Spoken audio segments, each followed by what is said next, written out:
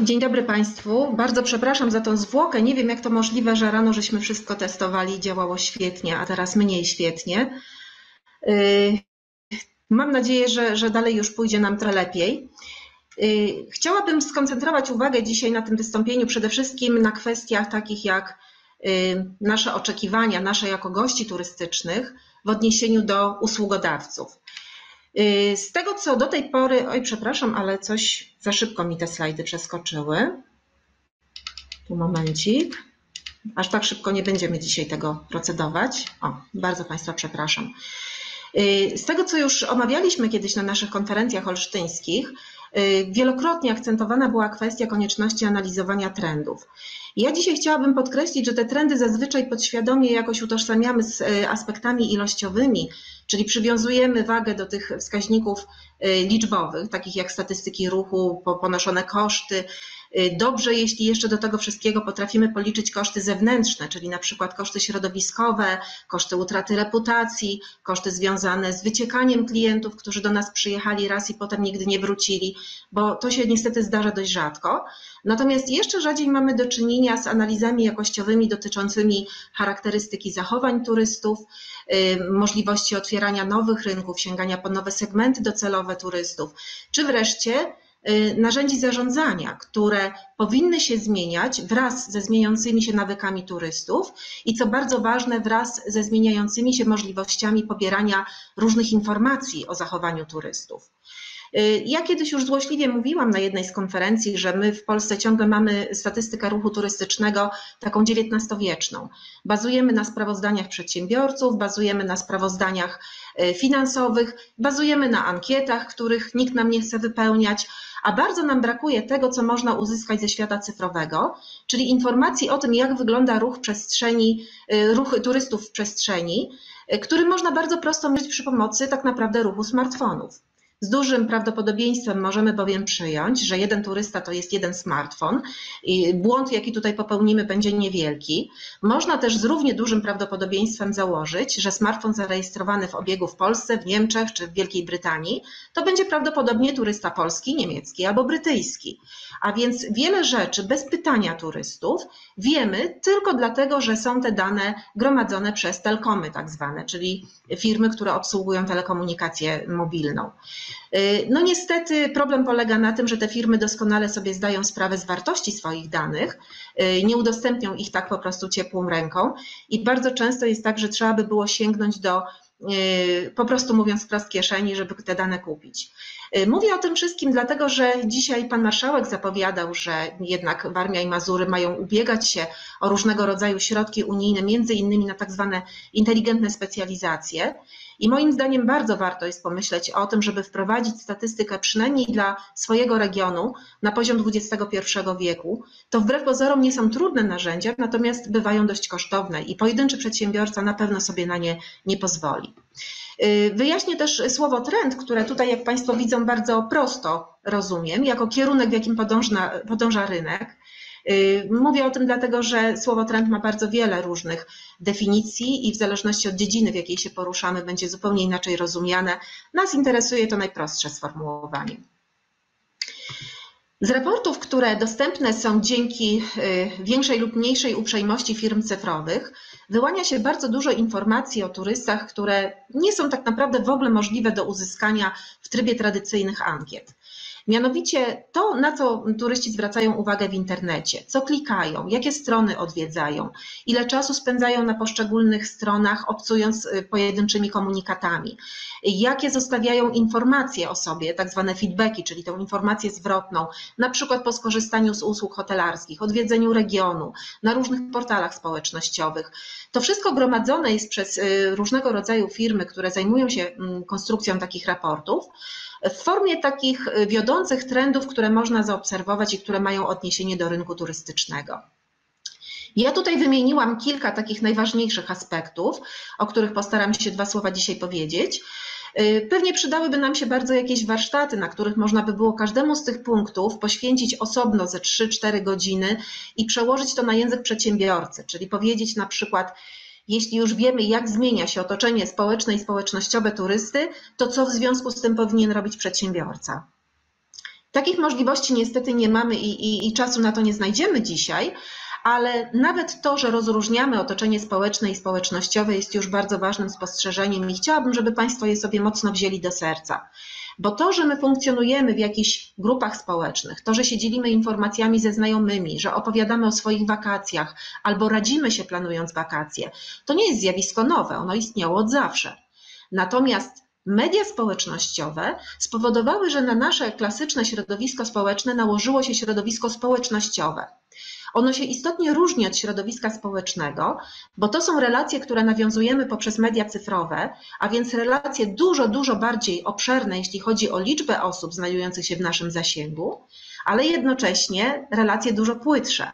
No każdy z Państwa ma pewnie ze 100 albo i 200 znajomych w różnych portalach społecznościowych, ale niekoniecznie z nimi się dzieli każdą informacją. W związku z tym należy założyć, że ten typ relacji trochę inaczej buduje nasze zaangażowanie turystyczne, a także naszą wiarę w na przykład wiarygodność jakiegoś usługodawcy albo w rzetelność informacji, które znajdujemy. Z drugiej strony, nawet te relacje nie są bez znaczenia.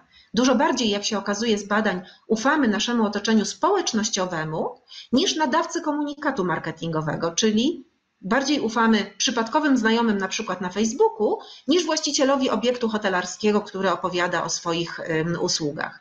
To jest zjawisko, które może no, urągać logice, ale tak niestety to funkcjonuje.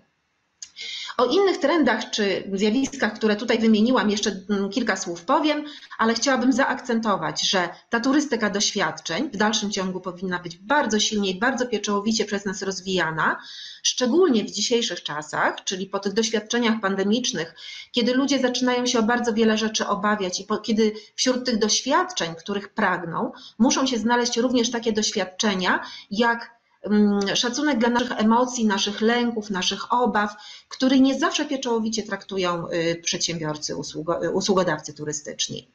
Bardzo ważny trend, który się z wielką siłą utrzymuje i coraz większą, to jest odpowiedzialność społeczna i środowiskowa.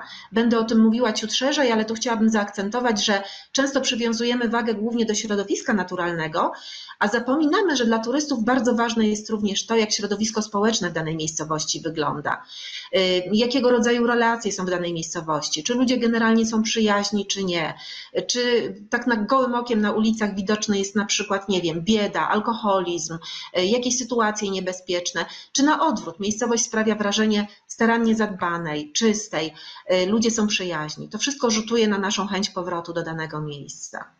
Inne kwestie to są kwestie zacierania granic bardzo, w bardzo różnym wymiarze. Tutaj nie chodzi tylko o kwestie pokoleniowe, że coraz częściej na przykład dzieci, wnuki wyjeżdżają z dziadkami, że coraz częściej jest tak, że bardziej się utożsamiamy na przykład z grupą behawioralną niż z grupą demograficzną.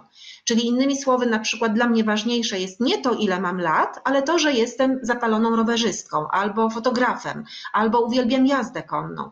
I cechy demograficzne, które najczęściej są tak mocno akcentowane w różnych raportach takich tradycyjnych, naprawdę są coraz mniej ważne, a znaczenia nabierają te cechy behawioralne, czyli te, które y, budują nasze przekonanie, że ktoś przywiązuje wagę do tego, czym się interesujemy i jakie są nasze pasje. No oczywiście dwa słowa powiemy też o otoczeniu cyfrowym, bo bez tego wszystkiego nie mielibyśmy chociażby wiedzy o tych wszystkich punktach, które dzisiaj wymieniam. I wreszcie ważny aspekt, czyli zwrot ku korzeniom, co może się wydawać absurdalne w czasach cyfrowych, ale takim nie jest. Wbrew pozorom, również media cyfrowe ułatwiają nam i pozwalają zbliżyć się do tych wszystkich kwestii, które pozwalają nam odkrywać nasze korzenie, sięgać do tradycji naszej rodziny albo regionu, poszukiwać tożsamości, nie tylko tożsamości rozumianej jako tożsamość narodowa, ale też taka lokalna, czyli to odkrywanie naszych małych ojczyzn. Y, jeśli jeszcze chodzi o to społeczne i społecznościowe otoczenie, proszę zauważyć, że te zachowania plemienne, o których mówiłam, czyli to przywiązywanie wagi do zdania naszej rodziny, naszych znajomych, poszukiwania jakichś takich wzorców zachowań, z którymi my też się możemy utożsamiać, może być czasami w mediach mm, cyfrowych zagrożone przez istnienie tak zwanych baniek informacyjnych. To jest zjawisko szalenie niebezpieczne i bardzo trudne do opanowania.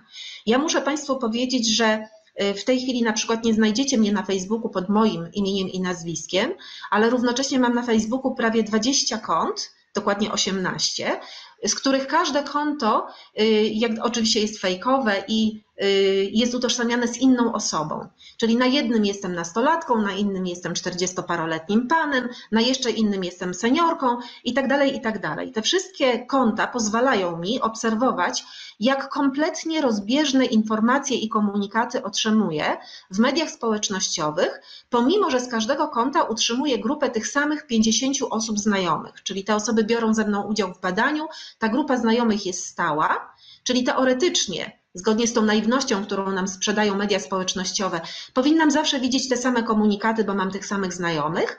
Tymczasem Facebook, algorytmy mediów społecznościowych bardzo precyzyjnie dobierają informacje pod kątem tego, co ich zdaniem może zainteresować na przykład seniorkę albo na przykład 40-paroletniego mężczyznę. I nagle się okazuje, że pomimo, że moi znajomi dyskutują o tym samym, to ja widzę zupełnie inne informacje. A więc tego typu wzorce zachowań, które kształtuje moje środowisko społeczne, w mediach cyfrowych są przefiltrowane dodatkowo przez algorytmy, które starają się definiować moje upodobania. Definiują je oczywiście poprzez cechy demograficzne, czyli to, co wiedzą o mnie natychmiast, na przykład ile mam lat i jakiej jestem płci, ale definiują również poprzez moje minione zachowania. A więc ja przyjmuję pewien styl bycia. Jeśli funkcjonuję w mediach społecznościowych jako nastolatka, to przeglądam inne strony, z innymi osobami wymieniam informacje takie bieżące, y, inne filmy oglądam, innej muzyki słucham i na tej podstawie kształtuję rozumienie algorytmiczne mojej osoby. To wszystko sprawia, że tak zwane word of mouth, czyli to słowo mówione, ten przekaz mówiony, trafia do innych osób i inne osoby mnie widzą i odczytują.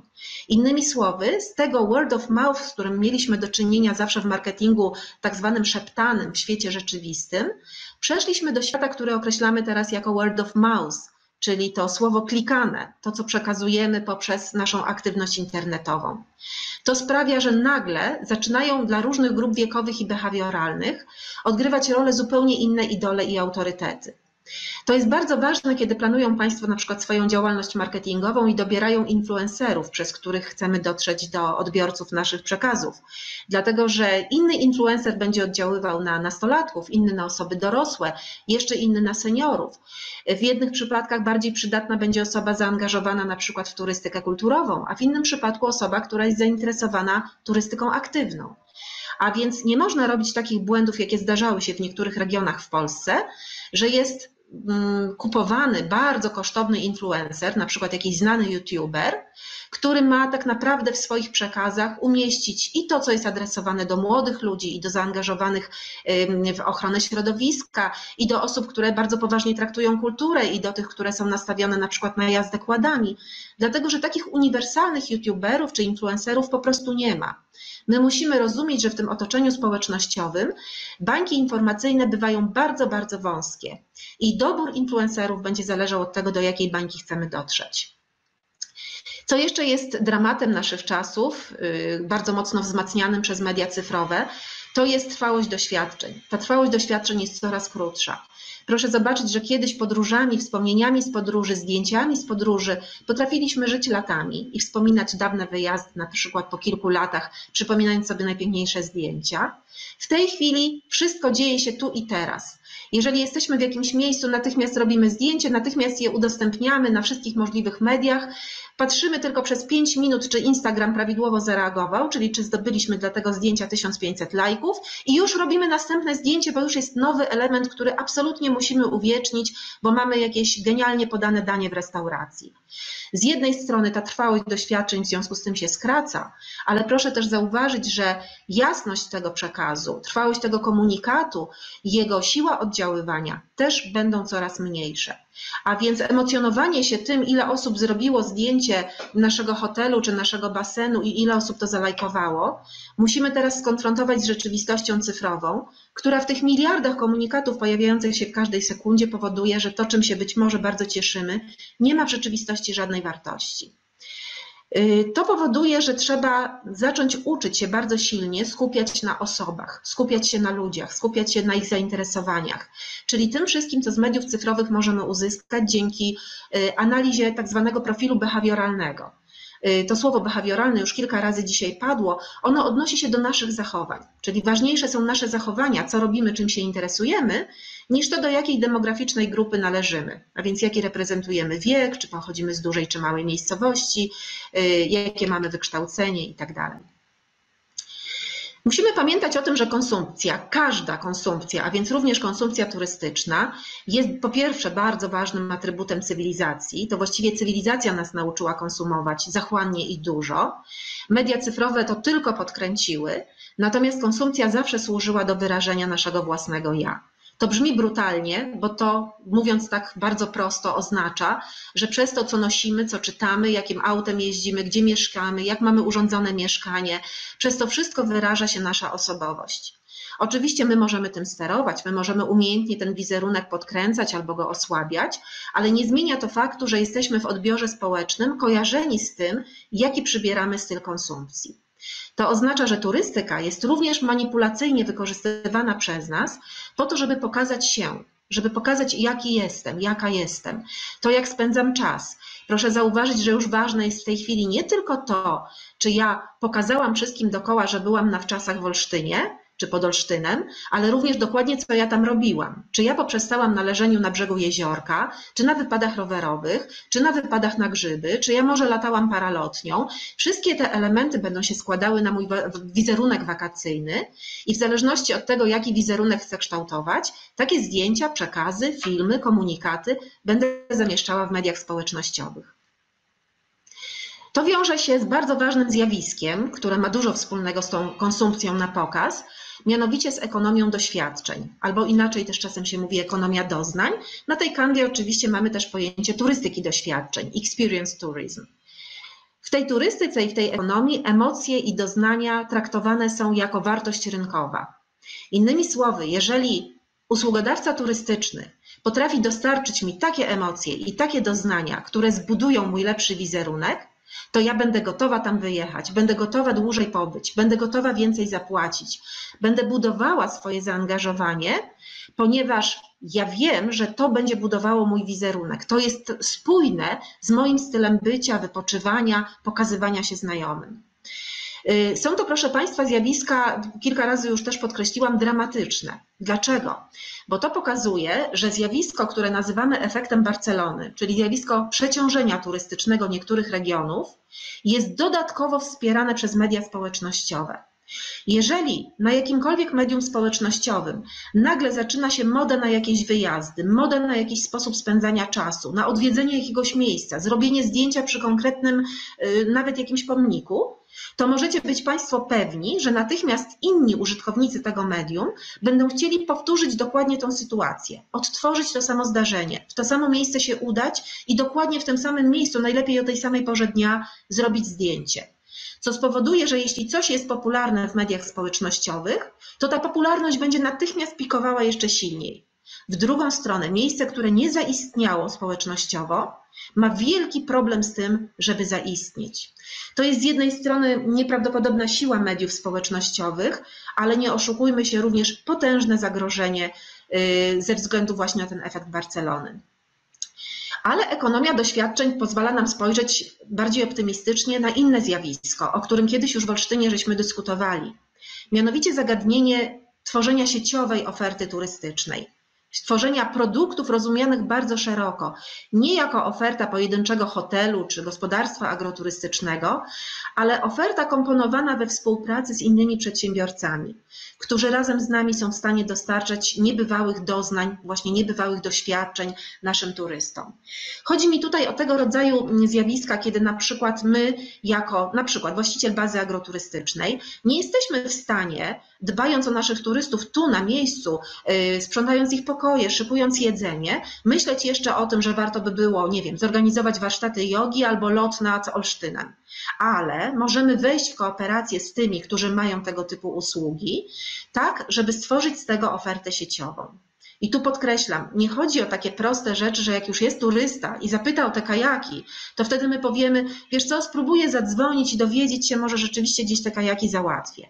Nie, to jest tak, że jeśli mamy ofertę sieciową, to my na co dzień, na podorędziu możemy z całym przekonaniem zagwarantować turyście, że my tą y, ofertę będziemy mieli niezależnie od tego, czy akurat dzisiaj y, ktoś o to zapytał, czy nie. My sami wychodzimy z tą propozycją, bo mamy pewność, że ten drugi usługodawca z nami współpracuje i będzie na wyciągnięcie ręki. Ekonomia doświadczeń to jest również rywalizacja. Naprawdę bardzo zaciekła rywalizacja o to, co pokażemy, co zilustrujemy, co na tym naszym Instagramie się pojawi, kto jak będzie z nami, że tam powiem, dzielił te nasze wspomnienia, bo umieściliśmy zdjęcie i te lajki na tym gromadzimy. Bardzo ważne jest, żeby to były doświadczenia niepowtarzalne. Oczywiście z tą autentycznością i niepowtarzalnością to mamy w turystyce problem, ale turysta chce być oszukiwany. Proszę mi wierzyć, wszystkie badania pokazują, że nawet ci turyści, którzy wiedzą, że na przykład e, tańce ludowe, które są im pokazywane, już niewiele mają wspólnego z tradycją regionu, i tak potrafią się cieszyć tym, że brali udział w jakiejś tam bardzo pięknej imprezie, robić zdjęcia i zamieszczać na swoim profilu, bo chcą się tym pochwalić. Turyści, którzy wiedzą, że ci Masajowie to są tak naprawdę przebierani tylko na czas pokazów, wszystko jedno, że wiedzą, że to jest nieautentyczne. Będą się cieszyli tym, że mogą to zdjęcie gdzieś tam, czy ten nagrany film zamieścić i się pochwalić znajomym. A więc to złudzenie, że coś zdarzyło się tylko mnie, może być pieczołowicie tworzone przez usługodawców. Ważne, żeby stworzyć tą atmosferę unikatowości. To można zrobić nawet przez zwykłe komunikaty, zwrócić uwagę, wie pani, niech pani dzisiaj pojedzie, dzisiaj zobaczy, bo mamy taki piękny festyn, albo dzisiaj jest, nie wiem, y, koncert organowy w katedrze olsztyńskiej. Nawiasem mówiąc, w ubiegłym roku byłam na wszystkich tych koncertach i po prostu jestem zachwycona y, zarówno możliwościami organów, jak i, jak i tym, jakich gości państwo zapraszali do Olsztyna. A więc to są rzeczy, którymi się dzielimy, to są rzeczy, które są naprawdę przeżyciem i wiemy, że nie takim powszednim przeżyciem. Ale z tym wiążą się też y, nowe kompetencje, których turyści oczekują od organizatorów turystyki. My chcemy, akcentujemy to, podkreślamy i domagamy się tego, żeby żeby usługodawcy turystyczni odpowiadali nasze, na te nasze potrzeby, zanim my je zgłosimy. To nie może być tak, że ja przyjeżdżam i po trzech dniach nudy w jakimś hotelu, wreszcie proszę, wie pan co, może tu się da jakiś, nie wiem, spływ kajakowy zorganizować. Ta oferta ma bić po oczach z każdego miejsca. Ja muszę widzieć, że ktoś się o mnie troszczy i ktoś zawczasu myśli o tym, co dla mnie zorganizował, co mi zaproponował. No i wreszcie te nowe narzędzia intensyfikacji doznań. Tutaj wchodzimy w świat cyfrowy. Broń Boże, nie chodzi o to, żeby turystykę zamienić na e-turystykę. Y, świetnie Państwo wiedzą, jak często się teraz mówi o tym przemęczeniu kontaktem z mediami cyfrowymi, bo przez jakiś czas byliśmy tylko i wyłącznie do tego ograniczeni. Nikomu nie zastąpi oglądanie nawet w 3D y, regionów turystycznych, faktycznej wizyty w tych regionach. Nikomu nie zastąpi oglądanie, nie wiem, wnętrza hotelu, faktyczne przejście się po wnętrzach hotelu. To są rzeczy, które możemy traktować tylko wspomagająco.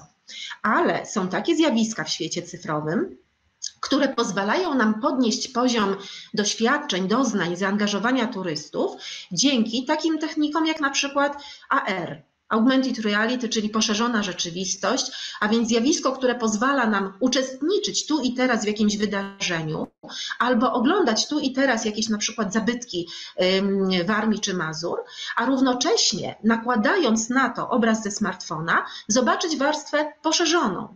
A więc jeżeli na przykład zwiedzamy jakiś zamek, to po najechaniu kamerką smartfona na ten zamek, na jego monitorze zobaczymy, jak ten zamek wyglądał na przykład w wieku XVI czy XVII, jak wyglądał zamieszkany przez ówczesnych mieszkańców. To są oczywiście rzeczy generowane wirtualnie i one nie dla każdego turysty są ważne. Proszę pamiętać, że zmieniają się też nasze upodobania wraz z wiekiem i wraz z opanowaniem tych narzędzi cyfrowych. Coś, co mnie prawdopodobnie, ja potraktowałabym to pewnie jako ciekawostkę, to już dla moich dzieci będzie wielką atrakcją, a dla maluchów, które nie są w stanie tak uruchomić jeszcze wyobraźni, jeszcze nie mają wystarczającej wiedzy, to może być autentyczne przeżycie zobaczyć, że po tych komnatach y, przechadzali się na przykład rycerze. A więc są to zjawiska, którymi możemy po prostu ubarwić te przeżycia, ale w żadnym wypadku nie zastąpić. Przed tym bardzo ostrzegam. No i tutaj proszę zauważyć zdjęcie, screen z reklamy y, firmy organizującej wyjazdy takie terenowe, offroadowe. Firma nazywa się akurat Jeep Experience, ale to nie jest istotne. Jest to firma, która chce na swojej reklamie pokazać, jacy ludzie potrafią być banalni i dlatego jest to zdjęcie, proszę zauważyć, każdy turysta prawie na tym zdjęciu robi sobie no prawie bliźniacze zdjęcie z krzywą wieżą w Pizie, prawda? Czyli pokazuje, że niby ją podpiera rękami, wiadomo, że na zdjęciu będzie to wyglądało w sposób tam, w jakiś sposób komiczny, ale proszę zobaczyć, każdy jeden turysta robi takie samo zdjęcie, każdy jeden wrzuci to zdjęcie na Instagrama albo może jako film na YouTube'a, każdy turysta będzie miał to samo i każdy podpisze, ja też tam byłem. W związku z tym firma, która tą reklamę stworzyła, chce pokazać, nie bądź taki banalny, ty szukaj czegoś innego. I wydaje mi się, że to jest droga bardzo ważna współcześnie, szczególnie dla takich regionów, które są jeszcze mało zadeptane turystycznie, a Warmię i Mazury postrzegam jako region jeszcze mało zadeptany żeby zanim będziemy mieli problem z efektem Barcelony, zacząć tworzyć turystykę, która od razu będzie luksusowa, ale luksusowa nie w tym sensie, że mamy złote klamki w hotelu, tylko luksusowa w tym sensie, że mamy coś unikatowego, niepowtarzalnego. Nie będziesz miał takiego zdjęcia jak 150 innych osób na Instagramie. Ty przeżyjesz coś absolutnie odmiennego. Bardzo ważne dla dóbr doznaniowych, bo tak się nazywają te dobra w turystyce doznań, y, jest to, że traktujemy je w sposób symboliczny. Tutaj nie kwestia materialna odgrywa znaczenie. My tych rzeczy nie zabierzemy ze sobą.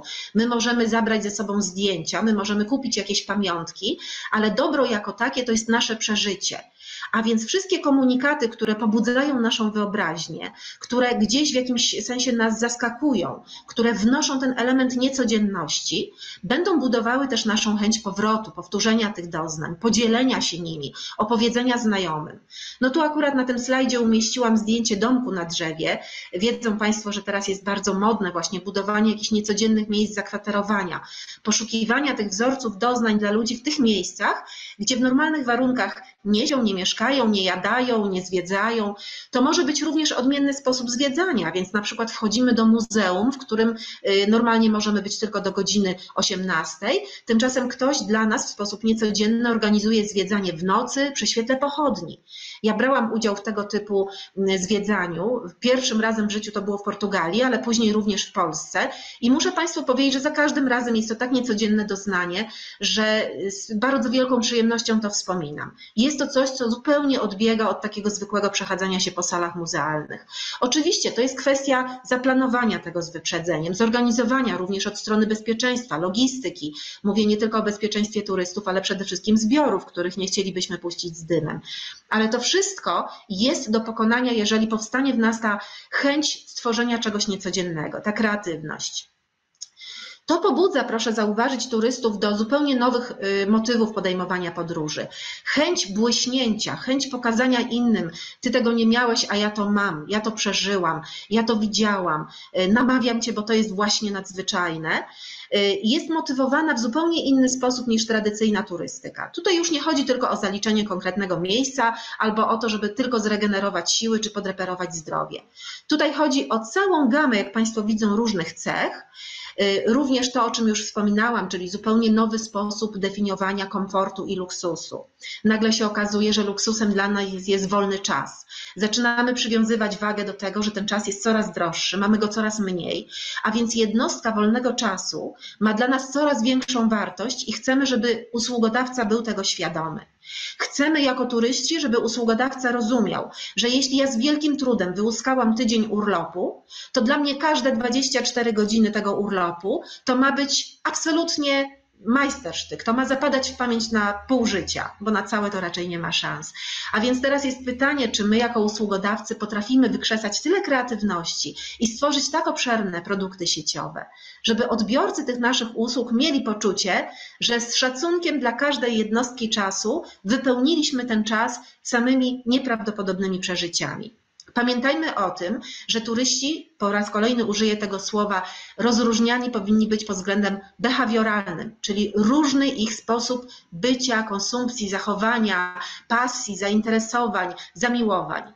A to oznacza, że musimy mieć ofertę taką, która będzie uderzała przede wszystkim w potrzeby intelektualne, ale również taką, która oddziałuje emocjonalnie i taką, która sprzyja jakimś wartościom fizycznym, tak? Bo ktoś chce się po prostu wyżyć, wybiegać, wyskakać, wylatać, wypływać i cokolwiek innego. W każdym przypadku, czy to będzie mowa o intelekcie, emocjach, czy rozwoju fizycznym, mamy na myśli to dążenie do doskonalenia. To jest kolejny problem naszych czasów, że ludzie wszystko postrzegają jako rodzaj inwestycji w siebie. Również turystykę, również wypoczynek, również czas wolny. Jeden będzie inwestował w siebie poprzez leżenie kołami do góry, inny będzie inwestował w siebie poprzez uczestnictwo w atrakcyjnych warsztatach, nie wiem, e, dekupaż, fotografii, malarstwa, fotografii jakiejś, nie wiem, e, na żywych obiektach, czyli na przykład fotografowanie ptaków, a więc chcemy się doskonalić w tych dziedzinach, które już nas zainteresowały, w normalnych warunkach pogrążeni w pracy nie mamy czasu poświęcić temu się w zupełności, więc te nowe kompetencje znowu zaczynają nabierać szczególnej wagi. To nie jest tak, że ja zapytam hotelarza, czy pan wie gdzieś tutaj w pobliżu, czy są jakieś warsztaty organizowane, na przykład malarskie. To ma być tak, że ja jadę do danego hotelu, bo już mnie tam zwabiono informacją, że na Warmii jak nigdzie indziej są fantastyczne pejzaże i organizowane w tych i w tych miejscach, w tych i w tych okresach są właśnie warsztaty malarskie. Czyli to jest przekaz, który być może dotrzeć do mnie przez hotel, ale on może dotyczyć usług, które są zupełnie poza tym hotelem realizowane. To oznacza, że te kompetencje, nowe kompetencje usługodawców muszą oznaczać nieprawdopodobną otwartość i obserwowanie tego, co się dzieje w regionie. A to oznacza dbałość o przepływ danych, dbałość o przepływ informacji. I muszę Państwu powiedzieć, że wszystkie organizacje turystyczne, z jakimi współpracuję, a jest ich całkiem sporo, zarówno regionalne, jak i lokalne, mają ten sam problem. Problem z pozyskiwaniem informacji o wydarzeniach, które się dzieją w regionie z jednej strony oczekujemy od tych organizacji, że będą nas promować, że będą w tym skuteczne, a z drugiej strony kompletnie nie dbamy o to, że te organizacje muszą wiedzieć, co promować, muszą wiedzieć o tym, co się dzieje w regionie. Naprawdę one nie mogą śledzić każdej informacji w każdym jednym medium, bo na to brakuje czasu to my aktywnie musimy im dać znać, że z jednej strony mamy jakiś wybitny koncert wybitnego organisty w Olsztynie, a z drugiej strony gdzieś tam mamy święto truskawki w jakiejś małej wiosce, bo tam się tradycyjnie w tym okresie festyny odbywają. Jedno i drugie będzie ważne, bo będą odbiorcy jednego i drugiego produktu. To będą inne grupy docelowe, inni turyści, ale każdy z nich musi tą informację mieć podaną. Bardzo ciekawe zjawisko ta sezonowość Orebur, czyli sytuacja, w której coraz częściej turyści szukają celowo oferty na to, co będzie poza sezonem oferty, która jest bardzo po macoszemu traktowana przez usługodawców. Ja się z tym nagminnie spotykam, jak prowadzę szkolenia w hotelach i słyszę na przykład, y, no wie Pani, ja to nie mam czasu się zajmować turystami poza sezonem, w sezonie się tyle różnych dzie rzeczy dzieje, my naprawdę wtedy mamy pełne ręce roboty i jeszcze do tego organizujemy różne rzeczy, a poza sezonem to zakładamy, że przyjeżdża ktoś, kto jest bardziej samodzielny. Proszę Państwa, no, można oczywiście wyjść z takiego założenia, tylko efekt będzie taki, że ten okres po sezonie, który już i tak bywa martwy, będzie jeszcze bardziej martwy, jeżeli w ogóle można y, stopniować martwość. Natomiast nam przecież chodzi o to, żeby rozciągnąć ten sezon turystyczny. I można sprowokować turystów, umiejętnie sprzedając im informacje o tym, co właśnie dzieje się poza sezonem. Ale to oznacza, że musi się coś dziać poza sezonem, a z tym mamy też problem, bo wydaje nam się, że jak jest jakiś paskudny listopad, no to już nie warto w cokolwiek inwestować. Tymczasem naprawdę jest cała masa różnych aktywności, szczególnie tych, które się w zamkniętych pomieszczeniach mogą odbywać, na przykład w muzeach, w pałacach, w zamkach, w galeriach. To wszystko, co można zaoferować, co może być atrakcyjne. Nikt naprawdę nie powiedział, że spotkania ze znanymi pisarzami, które tradycyjnie u nas się odbywają latem, nie mogą się odbywać zimą we wnętrzach muzeów. A więc to jest tylko kwestia znowu stworzenia sieci, która będzie chciała ze sobą kooperować. No i pamiętajmy o tej autentyczności i baśni. Turysta wcale niekoniecznie szuka prawdziwej, prawdziwej autentyczności. On czasami przyjeżdża do nas z głową nabitą jakimiś wyobrażeniami, i jedyne, czego oczekuję, to, że my sprostamy tym oczekiwaniom. Jak Państwo jadą do Londynu, to wiedzą, że chcą zobaczyć bobich, czyli tych policjantów w wysokich hełmach. Wiedzą Państwo, że chcą zobaczyć czerwone budki telefoniczne, chociaż już nikt nie, uwa, nie używa takich telefonów, że chcą zobaczyć jakieś bardzo określone zabytki. Gdzieś w naszych głowach obraz już istnieje. Pytanie, czy miejsce docelowe po pierwsze sprosta temu obrazowi, a po drugie, czy jest w stanie przytrzymać nas dłużej w danym miejscu, pokazując, słuchaj, masz taki obraz, myśmy to spełnili, ale popatrz, ile więcej jeszcze u nas możesz znaleźć. No i szalenie ważna rzecz, która wiąże się z tym modelem behawioralnym, czyli eskapizm, którego poszukujemy. Bardzo często chcemy uciec, uciec od codzienności, uciec od problemów, uciec od pracy, uciec od miasta, w którym stale mieszkamy, uciec od otoczenia, które nas nuży, co oznacza, że turystyka musi nam stworzyć świat, który będzie właśnie światem na tą ucieczkę. To może być przygoda, to może być luksus, to mogą być wyzwania, na przykład jakieś, nie wiem, bardzo trudne survivalowe przygody. To mogą być kwestie emocjonalne, na przykład y, organizacja w czasów, które pozwalają odzyskać czy odbudować więź z dziećmi, które mają naście lat i już nas zaczynają lekceważyć. Tych pomysłów może być bardzo dużo. One wymagają współpracy ze specjalistami. Tutaj nie poradzimy sobie sami w naszym gospodarstwie agroturystycznym czy w naszym pensjonacie. My musimy wiedzieć, jak na przykład umiejętnie organizować e, warsztaty, nie wiem, malowania jajek nawet, żeby one służyły zbliżeniu na przykład pokoleń, a nie ostatecznemu ich oddaleniu. A więc to są wyzwania, ale radzą z tym sobie ludzie. I tutaj teraz kilka przykładów takich fotograficznych. Proszę zobaczyć turystyka kulinarna, która oczywiście już jest na ustach wszystkich i wszędzie i wiem, że w Olsztynie też już o tej turystyce kulinarnej dużo żeśmy rozmawiali, ale proszę zobaczyć, że trzeba zawsze coś do tego dodawać. Jeżeli robimy warsztaty kulinarne, to chodzi nie tylko o to, żeby się nauczyć gotować określone potrawy czy przygotowywać ciasta. Chodzi o to, żeby to być może się działo w jakimś y, naprawdę niebywałym otoczeniu. Tutaj mamy warsztaty w winnicy, bo prawdopodobnie coś na bazie wina jest przygotowywane, ale jeśli robimy warsztaty, które są na bazie y, kulinarne, w których wykorzystywane są produkty pochodzenia mlecznego, to nic nie stoi na przeszkodzie, żeby to zrobić tam, gdzie mamy pastwiska, gdzie mamy te krowy, gdzie mogą ci ludzie zobaczyć, że to wszystko jest takie swojskie i tutejsze. Ale można też pójść w innym kierunku, zrobić warsztaty kulinarne, które wcale nie są zgodne z profilem funkcjonowania naszego regionu i pokazać, że my umiemy tą kuchnię fusion gdzieś tam promować, że my umiemy sięgnąć po wzorce zagraniczne. Warsztaty kulinarne to pamiętajmy jest także cała przygoda z cyklem produkcji, zakupu produktów, z ich pochodzeniem, z gwarancją ich świeżości, gwarancją, że są lokalne. To się bardzo z kolei wpisuje w ten nurt, o którym wspomniałam na samym początku, czyli poszukiwania tożsamości, nawrotu do natury, y, nawrotu do tych małych ojczyzn, powrotu do kwestii związanych z ochroną środowiska, no bo tutaj mamy kwestię transportu. Jeżeli coś jest lokalne, to znaczy, że nie było przywiezione z drugiego krańca świata, więc nie zostawiliśmy śladu węglowego przez pół Europy, tylko dlatego, że musimy w Olsztynie jeść krewetki. A więc pojawia się cała masa różnego rodzaju zagadnień, które budują nasze przekonanie, że to jest nie tylko tutejsze, ale że ja przy tym zachowuję się jako osoba odpowiedzialna środowiskowo i społecznie. Prozaiczny namiot, odpowiednio zaaranżowany, przestaje być prozaicznym namiotem, a więc nagle pojawia się ta kwestia glamour, tak zwanego, czyli stylu, który łączy glam, camping z glampingiem, tak?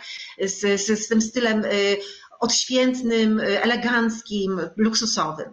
Ale tutaj inny przykład. Niecodzienne miejsce zakwaterowania. Dlaczego by nie przenocować turystów na dachu wieżowca, z którego rozciąga się przepiękna panorama na miasto? I już niektóre hotele w Warszawie na przykład coś takiego próbują robić. Wiem, już miałam sygnały, że również w Trójmieście takie rzeczy się robi.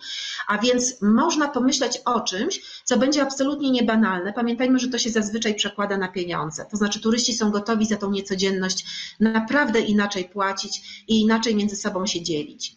I tutaj Ciurkiem, proszę Państwa, wszystkie przykłady, które teraz Państwo widzą, tych warsztatów czy szkół letnich, wakacyjnych, sezonowych, e, zimowych, to są wszystko autentyczne przykłady z Polski. Nie z jednego regionu, co prawda, ale proszę zobaczyć, że tych pomysłów na to, jak tematycznie ułożyć popyty turystów, jest bardzo dużo i te przykłady jeszcze dodam, one wszystkie są z malutkich miejsc zakwaterowania, czyli mam na myśli gospodarstwa agroturystyczne i pensjonaty, ale w większości są robione w trybie oferty sieciowej, czyli rzadko jest tak, że jeden gospodarz po prostu potrafi naraz zadbać o turystów, oprowadzać ich po okolicy, prowadzić warsztaty pszczelarskie i nie wiem co jeszcze.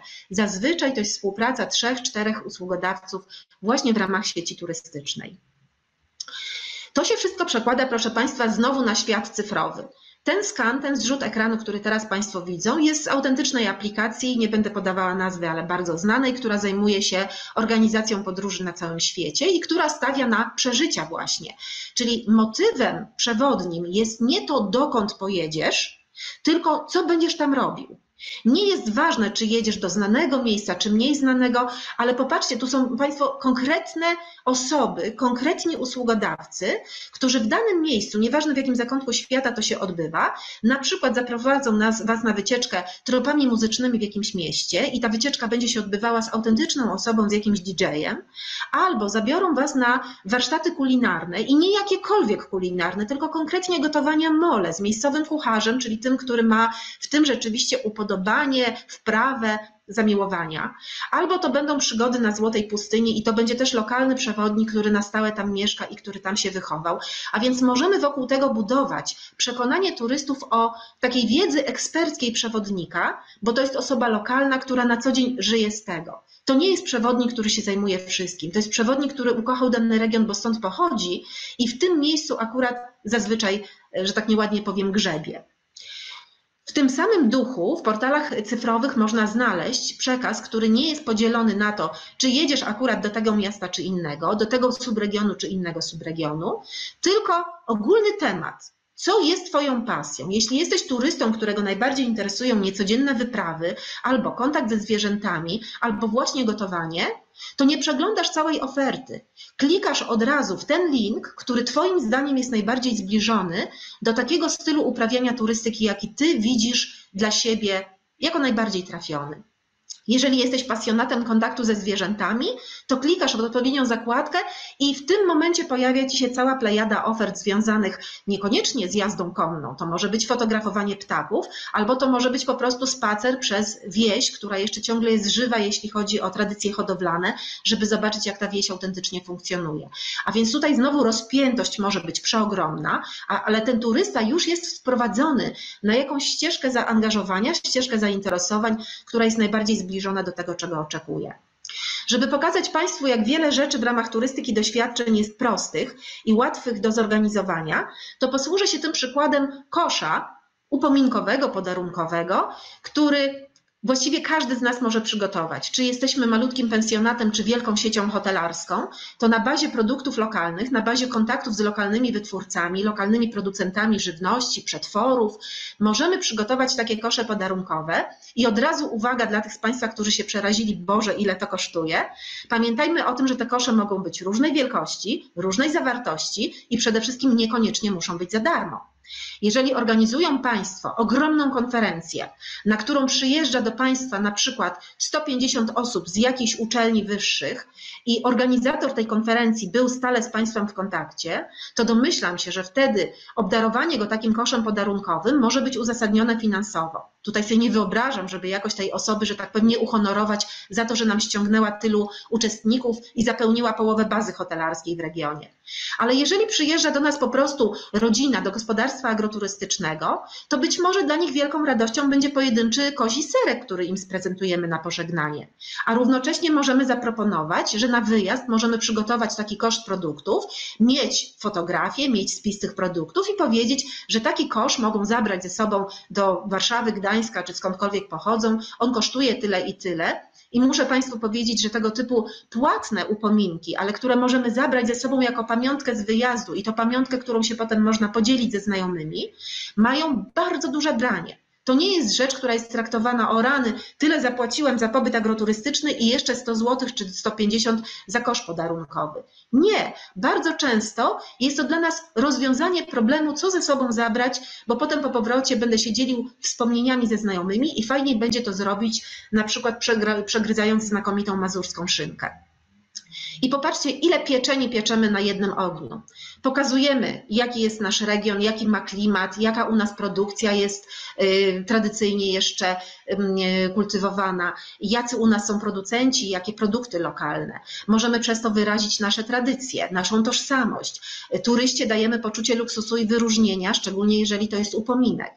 Jest możliwość dla tego turysty zagrania czymś, co w ekonomii nazywamy efektem demonstracji, bo ja wracam z tych Mazur czy z Warmii, przywożę ze sobą taki kosz, pokazuję znajomym, popatrz, dostałam to w pensjonacie, albo popatrz, tam można kupić takie fantastyczne produkty.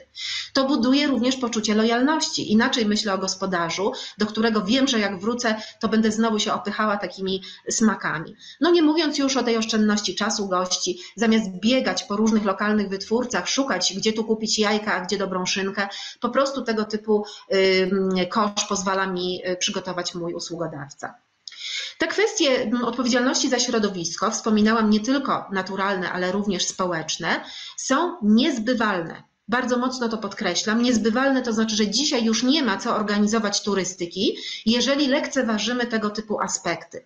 Jeżeli ktoś przyjeżdża do naszej miejscowości, widzi, że jest brudna, zapijaczona, że jest dużo zniszczonych budynków, że są zaniedbane drogi, nie ma bezpiecznego pobocza, nie ma jak bezpiecznie przejechać rowerem, to te miejscowości będą od razu na końcu kolejki miejsc, do których chcemy wrócić. Nie łudźmy się, turysta za bardzo już w tej chwili ma poczucie takiej takiego przekonania, że jeśli w danym miejscu się źle żyje, to w tym miejscu się też źle wypoczywa.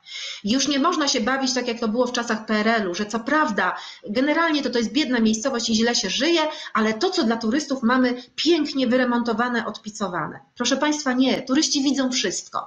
I jeżeli mam poczucie, że w tej miejscowości generalnie jest brud i bieda, to ja będę miała poczucie, że ja tutaj po prostu nie chcę wypoczywać. A więc sprawia nam przyjemność, poczucie, że ta miejscowość jest po prostu, dba o swoich lokalnych mieszkańców. Jeśli tu jest wysoki poziom jakości życia, to na pewno będzie też dobra jakość wypoczynku. Jeśli tu się dba o bezpieczeństwo i dzieci ze szkoły mają jak wracać, bo nie idą środkiem szosy, tylko idą dobrym, bezpiecznym poboczem, to ja wtedy wiem, że ja na rowerze też pojadę dobrym, bezpiecznym poboczem, a nie będę narażona na to, że mnie zaraz ktoś tam y, przewróci jadąc furgonetką. A więc te wszystkie elementy dotyczące otoczenia społecznego stają się dla turysty elementem produktu turystycznego, pomimo że my jako usługodawca nie mamy na nie wpływu. A inaczej mówiąc, mamy wpływ, ale pośredni. Dlatego, że to są kwestie, które są w gestii samorządów lokalnych. To są kwestie, które mogą reprezentować na forum samorządu lokalnego na przykład organizacje turystyczne, do których należymy. I teraz my wiedząc, że te elementy społeczne mogą negatywnie oddziaływać na doznania turystów, mamy prawo, a nawet obowiązek domagać się u naszych organizacji turystycznych, u naszych samorządów lokalnych świadomości, że to wszystko negatywnie wpływa na mój biznes. Ale też pamiętajmy w drugą stronę, że jeżeli ja prowadząc biznes turystyczny, nie przywiązuję wagi do tego, gdzie wystawiam śmieci, gdzie wywrzucam ścieki, w jaki sposób mam, nie wiem, opróżniane szambo, czy dbam, czy nie dbam o swoje obejście, o to, jaki jest dojazd do mojego gospodarstwa i tak dalej, to ja w tym momencie też oddziałuję źle na miejscowość. Y, znają Państwo na pewno takie przykłady, kiedy przy ładnym ryneczku, w pięknie wyremontowanej kamienicy y, próbujemy rozruszać hotel, tylko że trzy kamienice dalej stoi rudera, której właściciele nie są zainteresowani remontem, a zohydza całą tą miejscowość. A więc proszę pamiętać, że tego typu zjawiska są dla nas y, z jednej strony niebezpieczne, z drugiej strony my sami też na nie wpływamy. Na to nakładają się kwestie pozaspołecznymi ekologiczne, czyli dużo, dużo więcej problemów niż tylko zero waste. Ale poprzestańmy przynajmniej na tym zero waste. Muszę Państwu powiedzieć, że moje mm, takie negatywne powiedzieć, powiedziałabym, y, wspomnienie z Olsztyna to jest takie, że we wszystkich restauracjach, w których tam byłam, są ogromne, gigantyczne porcje jedzenia nakładane w restauracji i na moją prośbę, żeby mi podano pół porcji, prawie zawsze stykałam się z odpowiedzią, nie tak się nie da, bo my na kuchni mamy to tak ważone. Proszę Państwa, jako turystka nie dopuszczam czegoś takiego, że się nie da. Jeżeli ja wiem, że zjem tylko połowę, ja mogę zapłacić tą samą cenę, ale ja nie chcę widzieć, że przeze mnie marnuje się ileś żywności, bo ktoś uważa, że musi być na talerzu bardzo dużo nałożone. A więc musimy się nauczyć takiej otwartości, musimy nauczyć się, że dzielenie porcji, yy, uwzględnianie tego, że ktoś ma jakieś inne potrzeby w tym zakresie i przejmuje się tym, co się marnuje, to jest właśnie element tego zero waste, do którego jesteśmy współcześnie zobowiązani. Ale oczywiście zero waste to jest tylko początek. My musimy myśleć dużo, dużo dalej. My musimy na przykład umieć rozwinąć kuchnię, która będzie na bazie produktów lokalnych i kiedy nam przyjedzie Warszawka oburzona, dlaczego u Was nie ma na przykład łososia, to musimy umieć wytłumaczyć, że łosoś nie jest lokalną rybą i u nas się nie podaje łososia, bo my przywiązujemy wagę do tego, żeby promować lokalny biznes, lokalnych wytwórców i lokalne produkty. A więc chodzi o to, żeby bez arogancji, bez pretensji do turysty umieć zaakcentować to, co my traktujemy jako atut, nawet jeżeli turysta najpierw to sformułował jako zarzut. To wszystko można też ubrać y, pod zupełnie nową formę y, komunikacji marketingowej, bo to są nowe trendy marketingowe. To jest nowa grupa turystów, którzy przywiązują wagę do takich rzeczy i budując zaangażowanie turystyczne, budując tą ich chęć przyjazdu do naszego regionu, musimy od razu ich edukować, jaki to jest region, że to jest region, który przywiązuje wagę do tej odpowiedzialności zarówno za środowisko społeczne, jak i naturalne. Z tym wiąże się bardzo ważna cecha, która w świecie cyfrowym jest szczególnie pożądana, czyli pomiar kosztów środowiskowych, no nie jest to może łatwe, bo to oznacza, że my musimy wiedzieć dokładnie na przykład, ile się marnuje u nas energii, ile marnuje się światła w naszym hotelu. Y, my musimy rozumieć, że na przykład przejście na karty cyfrowe do drzwi, czyli porzucenie tych tradycyjnych kluczy, pozwoli nam odcinać prąd w, pokojach, no z zachowaniem oczywiście tylko tych, tych generatorów dla lodówek, tak żeby goście, nawet jeżeli zapomnieli, nawet jeżeli wyłączyli, nie wyłączyli tego światła, to nie generowali tych strat środowiskowych. A więc to są niby drobiazgi, ale te wszystkie rzeczy w świecie cyfrowym naprawdę są i mierzalne, i osiągalne. Więc warto jest na to y, zwracać również uwagę. Następna kwestia to jest poszukiwanie tego remedium na lęki i zagrożenia, które powinniśmy przywiązywać, yy, no szczególnie zwracać na to uwagę w dzisiejszych czasach, kiedy rośnie mm, wykształcenie i wraz ze wzrostem wykształcenia rośnie poczucie niepewności i lęku. To jest, proszę Państwa, zjawisko zbadane już psychologicznie, przerażające zresztą, bo rzeczywiście tak jest, że im człowiek jest bardziej wykształcony, ja nie mówię tutaj tylko o wykształceniu formalnym, to nie chodzi o studia wyższe, tu chodzi o wykształcenie rozumiane jako zainteresowanie światem, zainteresowanie tym, co się dzieje z nami, z naszymi rodzinami, z otoczeniem, w którym żyjemy. I doskonale Państwo wiedzą, że ci, którzy się y, czują w tym jak ryba w wodzie, są świadomi i wiedzą o tym wszystkim, to zaczynają mieć tych lęków dużo więcej niż ludzie, którzy po prostu nie przywiązują do tego wagi. I znowu my jako przedsiębiorcy, my jako branża turystyczna musimy próbować niwelować te, te lęki. Musimy dawać poczucie, tak, dlatego u nas dbamy o pewne rzeczy, u nas się przejmujemy, na przykład losem planety. U nas y, będziemy Cię wspierali w takich rzeczach, na przykład jak y, ta atrofia. Atrofia też jest dramatycznym problemem dzisiejszych, y, dzisiejszych czasów, atrofia więzi, czyli sytuacja, w której jesteśmy tak zapracowani, zagonieni, zacyfrowani, że tracimy zdolność normalnego kontaktu z rodziną, z drugim człowiekiem, z naszymi dziećmi, czasami nawet w małżeństwie. I ten krótki okres wypoczynku nagle oczekujemy, że dostarczy cudów. Nagle w ciągu tygodnia odbudujemy małżeństwo, odbudujemy więź z dziećmi, z dziadkami, nie wiem z kim jeszcze. Doskonale wiemy, że wbrew pozorom bywa na odwrót. I bardzo często, szczególnie w pierwszym tygodniu pobytów, to nawet przedsiębiorcy obserwują, jest dużo napięć i kłótni w tych rodzinach, które przyjechały świeżo na wakacje, bo ludzie muszą odnaleźć umiejętność wspólnego funkcjonowania, w tym wspólnego wypoczywania. Dlatego wspaniale, jeżeli my umiemy tak atrakcyjnie i różnorodnie zaprojektować pobyty w naszych miejscowościach czy w naszych obiektach, żeby ludzie znajdowali zajęcie i dzięki temu wspólnie robiąc pewne rzeczy, nie musieli się zdarzyć, zderzyć z tą brutalną rzeczywistością, nie umiem z tobą rozmawiać. Bardzo ważnym aspektem jest również poszukiwanie różnych aspektów wzmocnienia swojego zdrowia. Tutaj nie chodzi po prostu o ludzi, którzy przyjeżdżają chorzy do sanatoriów, to to jest y, sytuacja krytyczna. Ja mówię o tych, którzy pozornie są zdrowi, ale właśnie zagonieni, przemęczeni, znużeni, wiecznie niedospani. E, do tego zaczynamy liczyć swoje zmarszczki, do tego wiemy, że nam depczą po piętach już ci młodzi, silni, piękni, zdrowi, a my przecież musimy z nimi konkurować, a już nie tak wyglądamy na tych zdjęciach z konferencji mój Boże, co to teraz będzie i tak dalej, i tak dalej. Czyli te lęki w nas narastają i teraz nasze pobyty mają być pobytami, w których czujemy się dopieszczeni, zaopiekowani, w których czujemy, że jest cisza, że jest spokój, że jest wypoczynek. To jest, proszę Państwa, piekielnie trudne. Nawet dzisiaj rozmawiałam rano z panią, która zajmuje się dystrybucją łodzi elektrycznych i mówi: Słuchaj, nikt nie jest zainteresowany tym, żeby kupować łodzie elektryczne, pomimo że one mogą rozwiązać problem hałasu na jeziorach. Bo teraz wyobraźcie sobie Państwo, że ktoś na przykład wykupił nocleg na jeziorze Mikołajskim, mieszka w hotelu z widokiem prosto na jezioro, tylko że rano budzi go ryk skuterów, dlatego że gdzieś tam młodzi ludzie sobie wyskoczyli z rana, kiedy jeszcze jest pusto na jeziorze i już sobie zaczynają hałasować. I nagle pojawia się problem. Z jednej strony ci jedni chcą się wyszaleć, ale z drugiej strony są ci, którzy szukają spokoju. Musimy jako turystyka nauczyć się rozwiązywać te problemy. Konflikty między naszymi turystami będą wszechobecne i będzie ich tym więcej, im większy ruch turystyczny mamy. Czyli im więcej mamy turystów, tym więcej tych sytuacji konfliktowych. My musimy też umieć jako przedsiębiorcy identyfikować te miejsca, gdzie występuje ryzyko, gdzie mamy do czynienia z zagrożeniem, z niepewnością, dlatego że bardzo często jest tak, że podejmując pewne inwestycje, podejmując pewne działania, bo mamy świetny pomysł na świetny produkt, nie zastanawiamy się nad tym, czy na przykład sąsiadowi ta nasza oferta nie będzie przeszkadzała. Że jeśli ja będę organizowała kłady i jazdę kładami po moim lesie, to w tym momencie w drugiej części lasu przerażone zwierzęta po prostu będą szalały, a sąsiad, który gdzieś tam na przykład, nie wiem, hoduje Daniele, będzie na mnie wściekły. My musimy sobie zdawać sprawę z tego, co nazywamy w ekonomii efektami zewnętrznymi, czyli że nasza działalność wywiera wpływ na innych na różne sposoby, również materialne.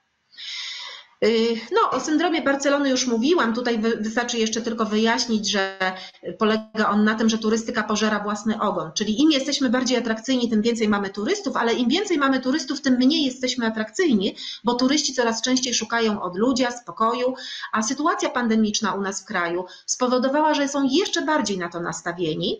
Oczywiście nie wszyscy. Wiedzą Państwo świetnie o tym, jak zatłoczone były plaże w tym roku nad Morzem Bałtyckim, ale jest cała grupa turystów i ona zwiększyła zwiększyła się o prawie 30% w stosunku do ubiegłego roku, która szuka miejsc nie tylko odludnych, ale jeszcze do tego zakwaterowania, w którym nie będziemy narażeni na regularne kontakty z innymi turystami. A więc zapotrzebowanie na te miejsca odludne będzie rosło, a nie malało. I my musimy umieć już zawczasu myśleć o tym, żeby nie przeciążyć turystycznie niektórych obszarów. Rośnie znaczenie umiejętności przewidywania, predykcji, prognozowania. Prognozowanie dotyczy dalszej przyszłości, predykcja dotyczy czasu rzeczywistego. Predykcja jest możliwa w świecie cyfrowym i o tym tutaj dwa słowa bym chciała, bo świat cyfrowy, istnienie takich urządzeń jak bikony na przykład, to jest to urządzenie, które Państwo widzą teraz na ekranie, czyli maleńki nadajnik radiowy, który się komunikuje z naszym smartfonem i który może mieć ustawiony zasięg. Może to być metr, a może to być 100 metrów. I na przykład, jeżeli ja przechodzę koło ładnego ze sklepiku z pamiątkami, który ma jakieś absolutnie niecodzienne pamiątki, nie jakiś chłam produkowany w Chinach, tylko rzeczywiście piękne, autentyczne, nasze, regionalne, bardzo często rzemieślnicze, unikatowe, to nie zawsze ten turysta będzie wiedział, że warto jest wejść, szczególnie jeżeli mój sklepik do tego jest ukryty w jakiejś bramie, w starej kamienicy. Ale można na zewnątrz kamienicy umieścić taki beacon, i jeżeli turysta wcześniej został zachęcony przez organizację turystyczną, żeby pobrać aplikację dla tego miasteczka, to ja przebywając w pobliżu tego bikona, na przykład zbliżając się na wymaganą odległość 5 metrów, odbiorę na swoim smartfonie komunikat, przechodzisz właśnie koło jednego z najpiękniejszych sklepów turystycznych z najpiękniejszymi pamiątkami regionalnymi. I muszę Państwu powiedzieć, że skuteczność takich komunikatów jest ponad 800 razy większa niż skuteczność jakichś tam komunikatów na jakimś tam Facebooku. Bo my w tym momencie mamy to, co nazywa się w świecie cyfrowym kontekstowością. Jest kontekst. Ja tu jestem, teraz jestem, jestem turystką, bo gdybym nie była, to bym nie pobrała aplikacji turystycznej i jestem potencjalnie już zainteresowana tego typu miejscami. Jeżeli do tego wszystkiego komunikat trafia do mnie dokładnie w miejscu, kiedy przechodzę koło tego sklepu, to szansa, że wejdę jest ogromna. Gdybym ten sam komunikat dostała siedząc wieczorem w hotelu, to będzie taka reakcja, słuchajcie, no może tam pójdę, no może jutro, a może za trzy dni, a potem o tym zapomnę. A więc zupełnie inna jest właśnie siła predykcji niż klasycznego marketingu. To wymaga uzbrojenia w narzędzia cyfrowe. Można je również organizować na terenie obiektów. Na przykład, jeżeli Państwo mają duży hotel, w którym są różne usługi, a więc na przykład jest pływalnia, jest spa, są masaże, jest y, lobby jakieś restauracyjne, jest drugie lobby tylko z kawą albo z jakimiś ciekawymi drinkami, to można zadbać o to, żeby bikony umieszczone w różnych częściach hotelu informowały turystów o różnych naszych usługach. Jeżeli turysta jest złapany przez bikon prowadzący na pływalnię, to nie ma sensu mu promować pływalni, bo ten turysta turysta tam idzie, skoro jest w zasięgu bikonu.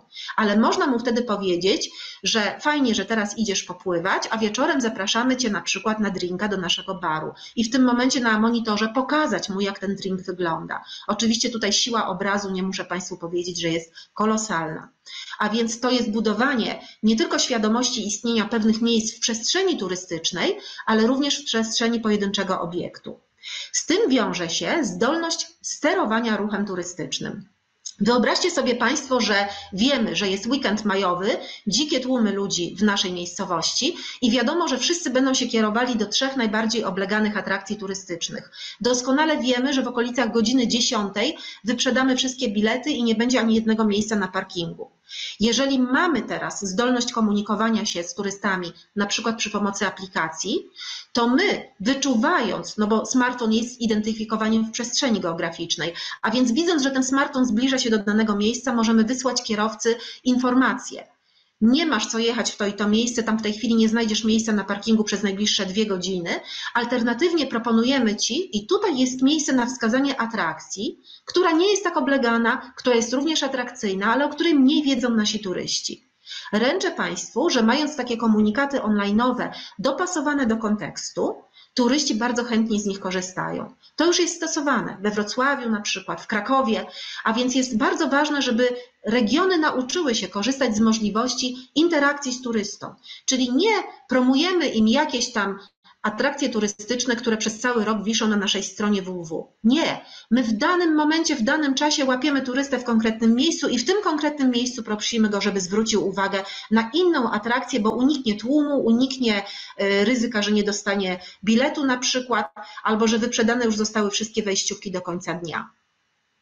No i wiąże się to oczywiście również z bezpieczeństwem turystów, to jest szczególnie ważne w dzisiejszych czasach, że przy pomocy takich beaconów czy odpowiednich aplikacji my możemy na przykład turystów ostrzegać. Ja już nie mówię o epidemiach, ale mówię o takich zwykłych rzeczach, że na przykład turysta wybiera się w góry, już widzimy, że mija jakieś wejście na szlak, informujemy go, że za trzy godziny przewidywane są bardzo silne opady deszczu, żeby rozważył, czy nie zawrócić ze szlaku. Albo wiemy na przykład, że w danej miejscowości zaczyna się, nie wiem, za 3-4 godziny silny silny huragan, proponujemy turyście, żeby na przykład wyszedł z lasu, żeby nie narażał siebie i dzieci w czasie spaceru. Y, możemy to wykorzystać również w przestrzeni hotelowej, wiedząc na przykład, że w określonych porach jest tłok na pływalni, to zaproponować turyście, w tej chwili już mamy przekroczoną pojemność naszej pływalni, y, alternatywnie zapraszamy Ciebie i dzieci do kręgielni albo do sali kinowej. A więc to sterowanie ruchem y, jest i gwarancją bezpieczeństwa, i gwarancją lepszej sprzedaży i do tego wszystkiego większej satysfakcji turystów. No i tu proszę Państwa zdjęcie, które już y, kiedyś pokazywałam, przypominam je w kontekście tej cyfryzacji. Proszę zauważyć, na pewno każdy z Państwa widzi, że ta jedna osoba jest wyraźnie na tym zdjęciu odróżnialna. Ta jedna starsza pani, która żyje chwilą, a nie rejestruje chwili. Ponieważ już jestem ponaglana z czasem, ogromnie przepraszam, to jeszcze tylko króciutko te ostatnie slajdy. Zacieranie granic. Przypominam o tym, że my w tej chwili nie chcemy już słyszeć o tym jako turyści, że jakiś hotel w ramach troski o nas nie gwarantuje Wi-Fi, albo gospodarstwo agroturystyczne reklamuje się na swoich stronach, u nas będziesz mieć detoks cyfrowy, bo my nie mamy Wi-Fi. Proszę Państwa, to czy turysta chce odpocząć od Wi-Fi, czy nie chce, ma być jego decyzją, natomiast my spójrzmy na to w ten sposób. Dzisiaj tysiące ludzi, które nigdy nie wykonywały pracy zdalnie, wykonuje ją zdalnie, bo takie są zalecenia. To oznacza, że równie dobrze mogą ją wykonywać z Olsztyna jak z Warszawy. A to z kolei oznacza, że jeśli nie macie Wi-Fi, to tracicie tych turystów, którzy mogliby przyjechać do Was na długo, spędzić u Was dużo czasu, dlatego że mogliby stamtąd prowadzić swoje normalne obowiązki zawodowe. A więc nie ryzykujmy dobrowolnie utraty tej ważnej grupy naszych turystów. Y, rozwiązania komunikacyjne mają rozwiązać jeszcze jeden problem turysty, czyli problem, który zrodziła idea smart shoppingu. My chcemy robić inteligentne zakupy i wzrost napięcia na etapie wyboru oferty turystycznej wiąże się z tym, że panicznie się boimy. Mój Boże, ja stracę być może lepszą ofertę, być może można było to gdzieś kupić taniej, a może jest lepszy hotel w tej samej cenie. A więc my musimy ludziom dostarczać przy pomocy narzędzi cyfrowej cyfrowych tak precyzyjnych informacji, żeby ludzie mieli poczucie, takie przekonanie wewnętrzne, że na pewno dokonaliśmy właściwej, y, właściwej y, wyboru właściwej oferty. To jest wtedy dopiero smart tourism. Ale smart tourism, czyli inteligentna turystyka, to jest przede wszystkim umiejętność gospodarowania danymi. I tu zamykam taką klamrą to, co mówiłam na samiusieńkim początku. Musimy nauczyć się wyciągać dane statystyczne z narzędzi cyfrowych, a nie bazować już na XIX-wiecznych narzędziach, które są dzisiaj praktycznie się nie sprawdzają. I to jest, proszę Państwa, ostatni slajd. Takie wymagania wobec nowych usługodawców turystycznych formułuje gości jutra. To są wymagania, które są w tej chwili już niezbywalne. Ja mam być niepowtarzalna, ja mam być traktowana personalnie. Ja chcę, żeby Państwo widzieli we mnie nie 50-letnią kobietę, która nie bardzo wiadomo, co chce robić, tylko wiedzieli o mnie wszystko, co pozwoli dopasować do mojego stylu zachowania i zainteresowań atrakcyjną ofertę w regionie Warmii i Mazur. Ofertę, która rzeczywiście odpowie na moje potrzeby efektu demonstracji, pokazywania się w Instagramie, chwalenia się znajomym, niezapomnianych wspomnień i tak. Czyli krótko mówiąc, oferty, która mi pozwoli się wyróżnić, która odpowie na moje potrzeby jako konsumenta. Dziękuję i przepraszam bardzo za przedłużenie troszeczkę to wynikało z tego późnego połączenia się. Dziękuję Państwu.